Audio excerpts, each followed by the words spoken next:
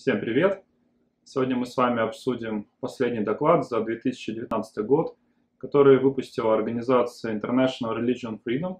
Это, по сути, является частью Госдепартамента США, который мониторит и анализирует основные права и свободы в отношении религии и свободы совести в разных частях мира. Итак, приступим. Сам доклад можно найти на сайте uscirf.gov. Этот сайт, где находится электронная версия и PDF-версия. PDF-версия получается у нас на 234 страницах. Очень большой доклад и он так очень красочно оформлен, что в прошлые года это было такое более что-то серенькое. Ну, грамотно сделали, молодцы, респект. В апреле он вышел 2019 года, и на что мы здесь обратим внимание, что существует два списка стран особой обеспокоенности и страны, где частично тоже нарушаются права, и поэтому они не так сильно обеспокоены, но обеспокоены тоже. Вот оно. Вот у нас страны с особой обеспокоенностью первого уровня которая у нас выделена красным цветом. Что нас интересует в этом списке? То, что сюда попадает Россия. Вот эта вот большая страна Россия, она имеет почетное место быть среди вот этих доблестных 16 стран, где нарушаются жестко права человека в области религиозных свобод и свободы совести. А еще здесь Наши соседи есть Узбекистан, Туркменистан, Таджикистан. Вот. Ну и остальной список достаточно стандартный. Это Бирма, Центральная Африканская Республика, Китай, Эритрея, Иран, Нигерия, Северная Корея, Пакистан, Россия, Саудовская Аравия, Судан, Сирия и уже названные страны плюс Вьетнам. Это что означает? Что страны, которые находятся в первом списке, у них есть очень большие проблемы с Госдепом. А вот эта комиссия, которая делает этот доклад, она отправляет свои рекомендации и просьбы разобраться а, в Конгресс США. Это все обсуждается на уровне там, Сената, вносятся какие-то там ноты протеста, какие-то санкции даже могут быть, и даже иногда какие-то делать законы с целью а, повернуть эти страны а, в правильное русло на защиту а, гражданского общества или религиозных свобод в данной ситуации. Это означает, что люди, которые приехали из этих стран, они могут рассчитывать на поддержку и защиту США даже на самом ранней стадии, на обращение в USAIS. И по результатам интервью, если все прошло гладко и все обоснованно доказано, без сомнений у самого миграционного офицера, то такой человек может получить статус политубежища даже еще до суда. Шансы очень велики. Если это страны второй очереди, это страны, которые также вызывают свою а, какую-то обеспокоенность, что там частично нарушаются права, и в эти страны входят также наши хорошо нам известные соседи, это Казахстан из таких ближайших и Азербайджан. Все остальные это страны Афганистан, Бахрейн, Куба, Египет, Индия, Индонезия, Ирак, Лаос, Малайзия и Турция. Это означает, что эти люди также имеют очень высокий шанс – оказаться среди политбеженцев США и получить одобрение. Но также это означает, что эти люди, они могут еще до суда иметь уже документы о том, что они политбеженцы. Означает ли это, что люди из других стран не могут получить убежище? Конечно, нет. Даже в этом же докладе, если мы пойдем в его электронную версию, то в электронной версии мы можем увидеть, что есть еще другие страны и территории, которые мониторятся, и по ним тоже есть замечания. Да, мы говорим, когда об этих странах, что первого уровня, что второго уровня, то мы говорим именно о том, что там все плохо. То есть все настолько плохо, что они даже в Конгрессе поднимают и обсуждают все эти вопросы.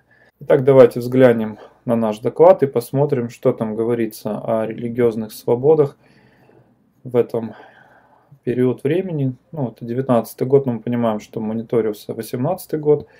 И, допустим, посмотрим, что у нас идет по России. По России у нас 10 страничек с 80 по 90. И давайте мы с вами найдем. И посмотрим, кто же у нас подвергался гонениям в прошлом году в России, по мнению Госдепа США. Итак, у нас Россия. И в целом мы видим, что по России дается общее в начале замечание, что в основном здесь говорится, как мы видим, о свидетелях Иеговы. Что, к примеру, тут мы видим, что у них на 90 миллионов долларов было конфисковано имущество. Также мы видим, что они были запрещены в 2017 году. Ну и столкнулись, как мы видим, с серьезными а, преследованиями а, в стране. Ну, мы знаем, что происходит со свидетелями Иеговы в России. Я думаю, что это никому не секрет. Сейчас об этом все говорят и пишут. Но мы видим, что есть официальное заключение. И вот дальше, если мы посмотрим, вначале дается какие-то общие характеристики по России, статистические данные. По их данным у нас 142 миллиона 68% православных, 7% населения мусульман и 25%, что немало, это все остальные, включая протестантов, католиков, свидетелей Иеговы, буддистов, евреев и также последователей Бахаи.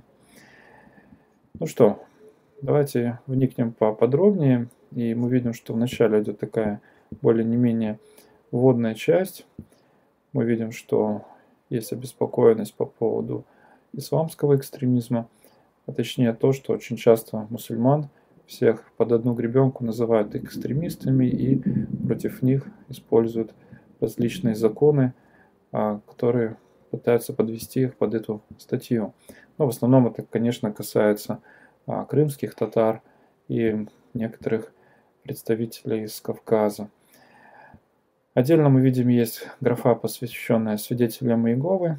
Дана достаточно а, также уже распространенная известная информация, что 20 апреля 2017 года они были как религиозная организация запрещены в России.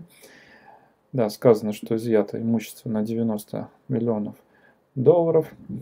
Также говорится, что за отчетный период 23 а, свидетели Иеговы были в тюрьме, 27 а, были под домашним арестом и так далее, так далее. Здесь очень так много информации. В принципе, для чего все это делается, мы можем сами исследовать дома. Можно это все дело перевести, почитать.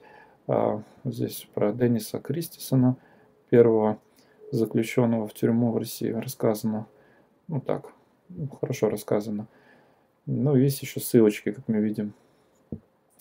Также здесь говорится о саентологах и также о других нетрадиционных религиозных группах. Так, здесь мы видим тибетские буддисты. Также мы видим, что у нас происходит на Северном Кавказе.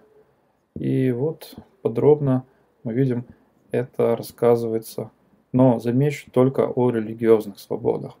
Поэтому доклад относительно небольшой, ну, в части России – и я думаю, что вот когда мы с вами будем обсуждать доклад уже о политических и всех других базовых свободах, то там доклад будет более содержательный и разнообразный, потому что он более широкие вопросы рассматривает.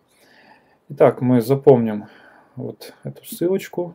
Если мы не сможем ее так найти, то как мы это можем сделать? Мы можем а, зайти на сайт www.uscirf.gov. И вот это вот у нас страны. Здесь тоже вот карта есть, где это все так показано. Мы можем по карте сориентироваться.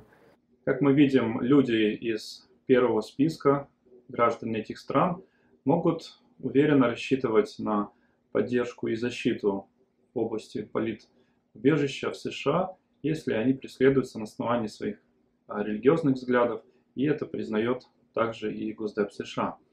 Мы также видим, что те люди, которые а, находятся во втором списке и также приехали из стран, где притесняются, ну не настолько серьезно, но тем не менее обеспокоенность у Госдепа есть, то такие люди также могут рассчитывать, конечно, не в 100% случаев, но большая часть этих людей, если правильно обоснуют свои страхи, то, э, конечно, они также могут рассчитывать на получение статуса политбеженства вот, на основании своих религиозных взглядов и тех гонений, которым они подверглись в своей родной стране. Всем успехов, с вами Ace Agency, пока. Спасибо за просмотр. Не забываем ставить лайк, комментируем, делимся видео и подписываемся на наш канал.